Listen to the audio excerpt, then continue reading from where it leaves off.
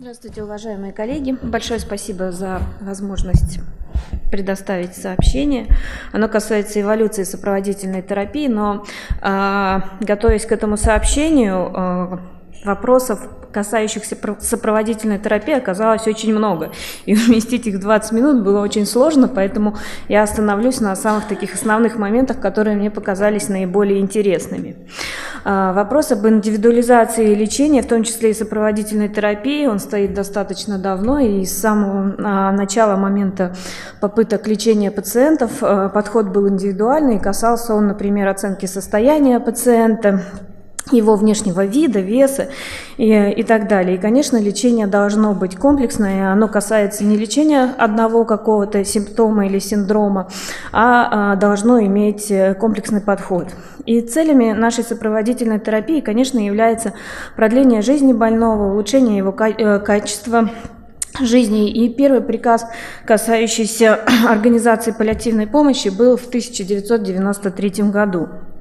Ну и э, то, что мне удалось найти, э, что впервые, когда попытались лечить онкологических пациентов, лечение начиналось с лейкозов, и тогда появились и первые осложнения. Это фибрильная нейтропения, анемия, тромбоцитопения, и тогда задумались о том, как же улучшить эффективность нашей терапии, чтобы мы могли э, дать пациенту максимально возможные для него переносимые дозы, но при этом пациент смог выйти живым и с хорошим качеством жизни после нашего лечения. И все эти попытки начались с 1960 года, когда начали думать о создании эритропоэтинов, э, колоний стимулирующих факторов, и э, улучшение антибактериальной терапии.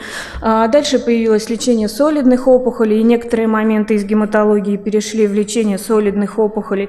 А, появилась негематологическая токсичность, препараты для лечения негематологической токсичности. И то, что сейчас активно входит в нашу э, жизнь, это терапия э, бифосфонатами, контроль боли, психоэмоциональная помощь и нутритивная поддержка. А, достаточно интересный слайд мне попался, так называемая концепция зонтик. Это а, наша сопроводительная терапия, которая включает в себя непосредственно специфическую терапию, направленную на лечение основного заболевания, и то, что ее сопровождает. Лечение симптомов, это плюс сопутствующая терапия для улучшения эмоционального а, и физического состояния пациента, и помощь э, терминальному пациенту. И что же будет включать в себя сопроводительная терапия?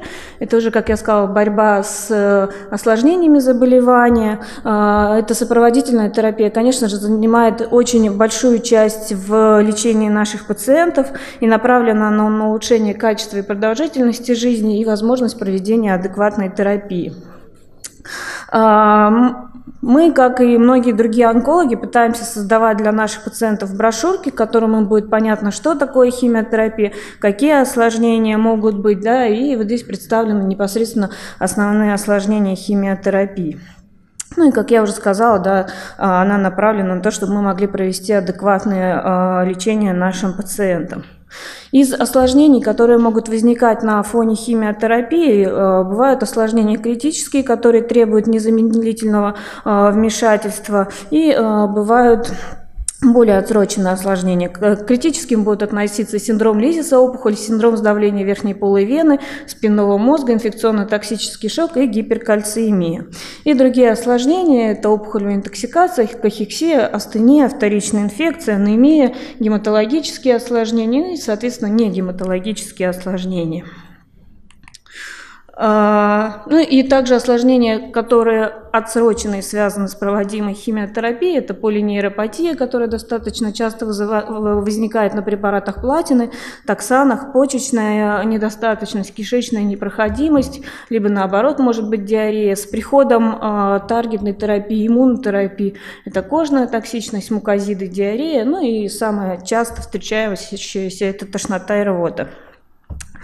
А, в задачу онколога входит, да, мы наблюдаем пациента, его лечим. Основной вид терапии – лечение осложнений. Также мы затрагиваем хронические симптомы а, и достаточно комфортное пребывание. Стараемся, чтобы у пациента было как дома, так и в стационаре. Но в этом же процессе участвуют и родственники, и окружение пациентов. И они тоже несут свой вклад. Э, в основном это психологическая помощь и э, помощь уже э, терминальным пациентам. И то, на чем я хотела остановиться, это тошнота и рвота, нутритивная недостаточность, болевой синдром, кардиотоксичность, психологическая поддержка и образ жизни. Тошнота и рвота достаточно часто возникает у наших пациентов и значительно ухудшает их качество жизни. К сожалению, э, мы видим только острую тошноту и рвоту, а отсроченную мы практически не замечаем, потому что она проходит у пациентов дома. И э, многие пациенты даже скрывают, насколько сильно у них была тошнота и рвота, чтобы, не дай бог, им не отменили химиотерапию. И первое руководство по использованию антиэметиков появляется в 1999 году.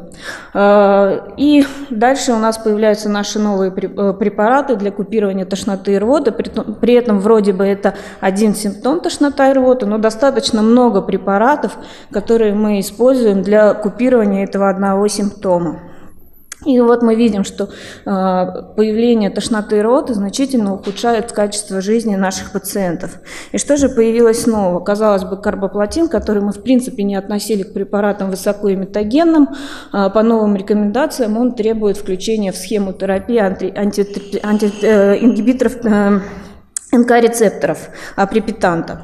Э, в зарубежной литературе еще имеется фосфоапрепитант, но у нас это, конечно, антиапрепитант. И также это препараты, использующиеся э, для, для седации. А, что касается острой тошноты и рвоты, в принципе, никаких новых изменений здесь не появилось. Единственное, я хотела отметить, что все мы помним, что схема АЦ, она относится в своей комбинации к высокому риску тошноты и рвоты. Что, относится, э, что касается отсроченной тошноты и рвоты, тоже значимых изменений никаких не было. Хотела напомнить о дозах, которые мы должны использовать. То есть мы не должны использовать максимальные дозы э, PH3 а, рецепторов. Почему? Потому что больше не значит лучше. К сожалению, а, я помню, что был такой момент, когда пытались купировать тошноту и рвоту, назначали пациенту максимальные дозы, даже если разбивали в течение дня, но тем не менее надо помнить, что они увеличивают интервал КТ у пациентов и ведут э, к сердечно-сосудистым осложнениям. Доза дексаметазона на острую тошноту и рвоту, мы помним, что это 20 мг, тоже не надо назначать большие дозы, в основном, в принципе, это всегда 8-4 мг. А, что касается а, апрепитанта, тут тоже все стабильно. Единственное, что а, апрепитант и фосфопрепитант в сравнении в клинических исследованиях показали равную эффективность между собой. И Еще один препарат, по сути, четвертый препарат для купирования одного осложнения, это аланзепин. А, чем он хорош? Тем, что он увеличивает седацию во вторую и в последующие дни, тем самым купирует возникающую тошноту и рвоту. Что касается недостаточности питания, которая в большом э, проценте случаев возникает э, у наших пациентов, она ведет, мы знаем, к снижению качества жизни, выживаемости, э, снижению ответа на наше лечение, снижению эффективности, повышению токсичности и стоимости лечения. И борьба с кахексией была описана уже давно. Э, есть папирус Эберса, где имеются первые а, собрания различных, э, различных трав для того, чтобы победить кахексию у пациентов. Э, рикушита – это японское растение, которое используется в народной медицине при болезнях желудочно-кишечного тракта. Японцы используют его достаточно широко. Он позволяет восстанавливать уровень гормона голода, герелина. И в то же время, а, помимо борьбы с кахексией, он борется еще и с тошнотой и рвотой. И что мы должны помнить? Что э, недостаточность питания, э, нутритивная недостаточность, это не всегда да, худые пациенты. Это могут быть достаточно полные пациенты, но при этом у них наступает саркопения. То есть мы видим, что объем а, мышечной массы, вот красным это объем мышечной массы, он значительно уменьшается, при этом мы видим, что объем жировой массы сохраняется высоким. И что появилось нового для того, чтобы уменьшить саркопению? Потому что нутритивная недостаточность сама по себе – это обратимый процесс. Когда у нас наступает саркопения, которая ведет в свою очередь к кахексии, а кахексия уже будет необратимым процессом. Появляются ингибиторы миостатиновых рецепторов, селективные модуляторы андрогеновых рецепторов и неселективные а, бета-блокаторы.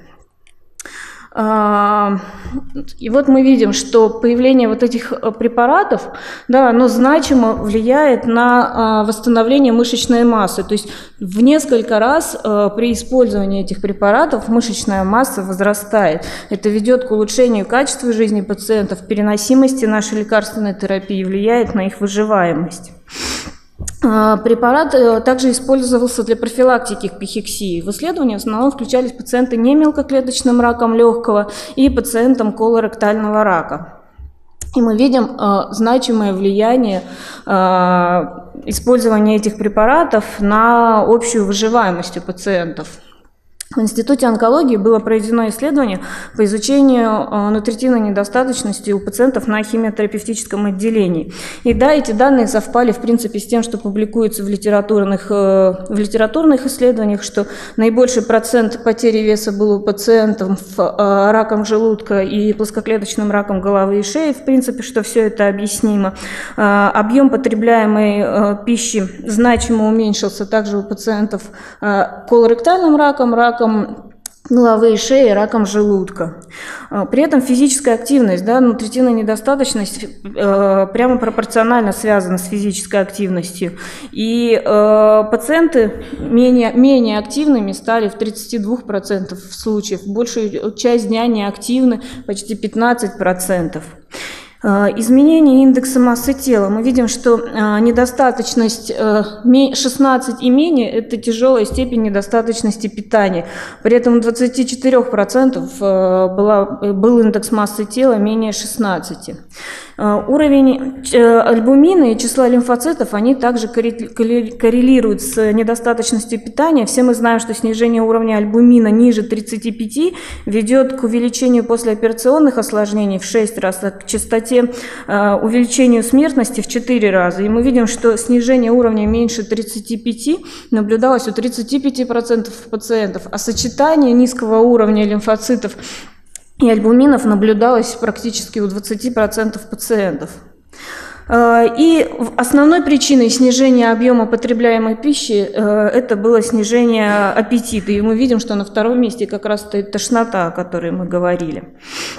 А, и так, это если не проводить нутритивную поддержку, мы, а, она ведет к увеличению частоты токсичности. И мы видим, что а, без нутритивной поддержки частота возникновения мукозидов у пациентов была выше.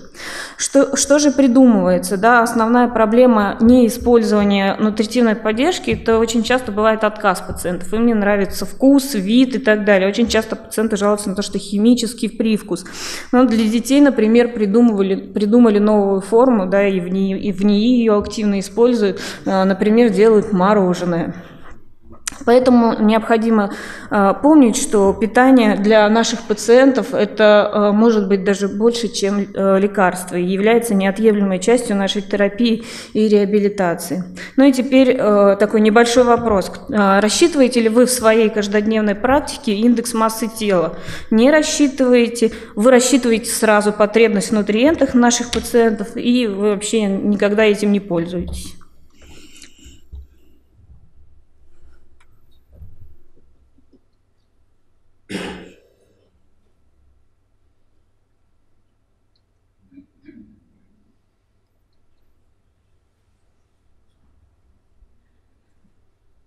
Ну вот обычно, я скажу, в своей практике мы его не рассчитываем, но нам в помощь э, пришли программы электронной истории болезни, где автоматически нам просчитывается индекс массы тела, и мы волей-неволей обязательно обращаем на него внимание.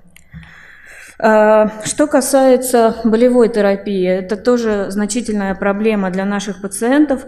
Э, при этом существует спираль болевой терапии, то есть возникает боль, от этого у пациента возникает тревога, э, бессонница и так далее, и все это замыкается как порочный круг. Для того, чтобы разорвать этот порочный круг, существует много подходов. Это непосредственно сама противоболевая терапия, это различные психологические подходы, анальгетики, лучевая терапия, системная ради нуклидной терапии и использование бифосфонатов в нашей практике. Но что мне попалось э, интересного, да, мы все знаем, что наркотические анальгетики на основе опиоидов широко используются для пациентов, когда мы не можем купировать болевой синдром, но при этом оказывается, например, из мака, получая опиоиды, доза, которую мы можем получить, она очень-очень маленькая. И это было большой проблемой, несмотря на то, что использование наркотических препаратов в стационаре не является проблемой. И вот интересное было проведено исследование, да, от маковых полей, грубо говоря, мы переходим к чашкам Петри. А, соединив в себе э, в гены дрожжей э, гены опиоидного мака, василисника, э, резуховидки и человеческого фермента P450, удалось синтезировать первый искусственный опиоид. И, в принципе, сейчас тоже ну, небольшой объем синтезируемого этого препарата, но в принципе можно поставить это на поток и достаточно большой, большую дозу опиоидных препаратов можно получить. А, небольшой опрос, касающийся качества жизни. Даете ли вы рекомендации своим пациентам по изменению качества жизни? Вы активно консультируете пациентов у психолога, рекомендуете ему участие в собраниях для пациентов и используете ли вы в своей работе опросники для качества жизни? Нет.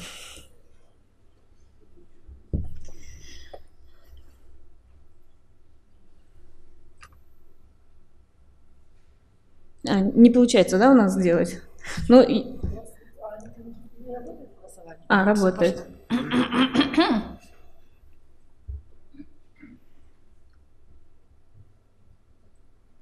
Ну вот я смотрю, что, да,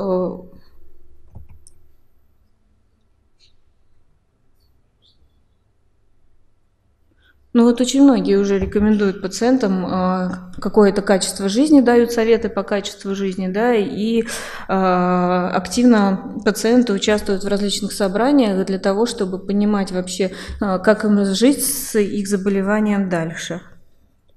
Так. Ага.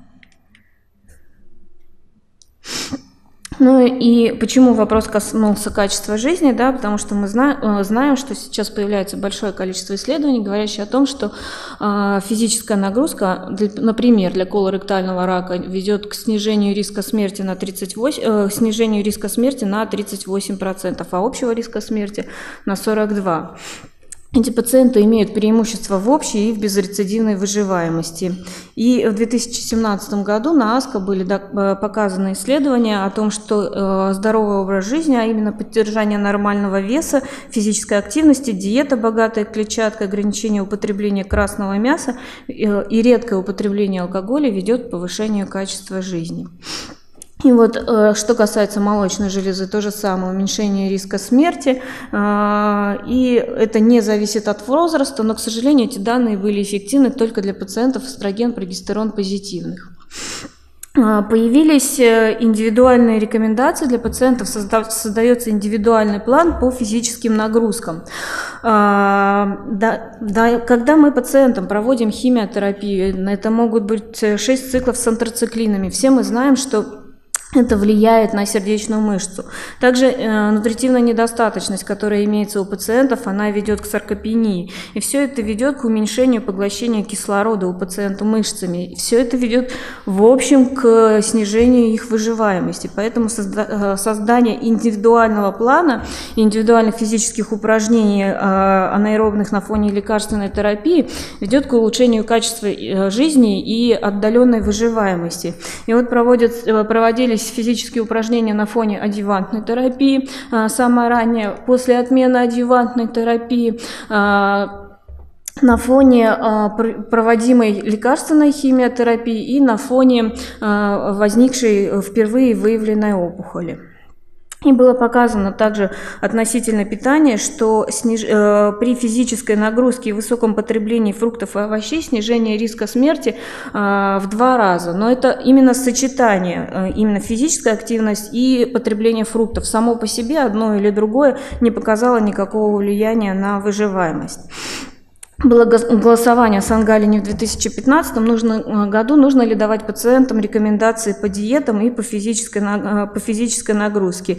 Э, и мы видим, что да, 70 практически 7 пациентов проголосовали за то, что нужно давать рекомендации по физическим упражнениям и рекомендации по поддержанию веса. Вот такие вот брошюрки обычно расклеиваются в клиниках и даются пациентов о поддержании здорового образа жизни. В рекомендациях НССН уже имеются данные о поддержании здорового образа жизни. И по поводу проведения химиотерапии, да, кому, сколько, когда останавливаться. Существует калькулятор продолжительности жизни в доступном виде э, в интернете, где, э, проставляя в зависимости от ответов на вопрос, что может сделать ваш пациент, то есть насколько ему тяжело дома справляться с, повседневной, с повседневными обязанностями выходить на улицу, выставляется прогноз жизни пациентов и, э, соответственно, необходимость проведения а, химиотерапии пациентам в ослабленном состоянии. И что касается нетрадиционных методов лечения, которые наши активные пациенты используют, они могут использоваться самостоятельно, либо в комбинации с основными методами лечения. А, чем это опасно, либо наоборот хорошо. Все мы знаем, что они могут действовать а, вместе с, воздействовать на наше основное лечение, и об этом необходимо помнить и эти моменты учитывать. И что интересно, да, хоть мы и, и говорим по какие-то альтернативные методы, но вот уже на Clinical Trial Gov появилось исследование для рака молочной железы, исследующее а, паклитоксел плюс-минус куркумин. Ну, будем ждать э, ответа этого исследования. И воздействие воздействие антиоксидантов, да, они могут уменьшить токсические проявления химиотерапии, но в то же время отсутствует влияние на продолжительность жизни и могут снижать эффективность нашей химиотерапии. Все мы помним, что больные распространенным э, раком, э, э, распространенными солидными опухолями – это неизлечимые больные.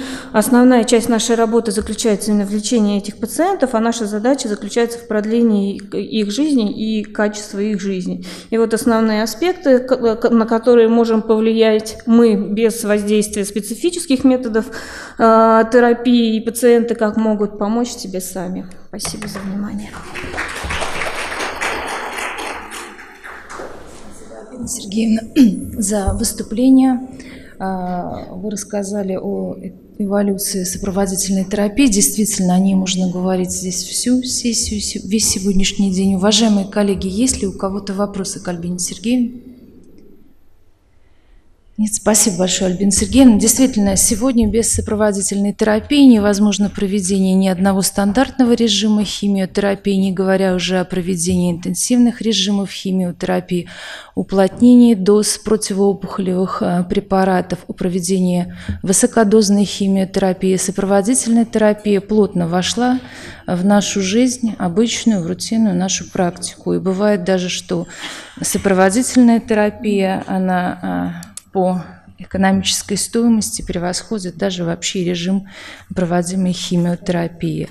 Но без этого на сегодняшний день невозможно. И я помню, как мы радовались, когда впервые появились первые антоцитроны, первые препараты, э, и э, они были действительно использованы в первую очередь у детей, э, потому что до появления этих препаратов более 50% отказывалось пациентов от химиотерапии именно из-за такого осложнения, как э, рвота. Насколько вот я помню, даже был фильм такой э, «Легко ли умереть молодым?» как раз про онкологического пациента. И действительно, очень много было отказов именно из-за такого осложнения, как тошнота и рвота от химиотерапии. Сегодня мы не представляем себе нашу обычную повседневную практику без сопроводительной терапии. Спасибо всем.